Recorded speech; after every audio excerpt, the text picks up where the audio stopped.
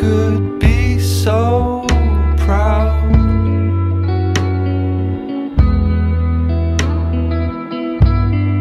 Well, you go, my sister.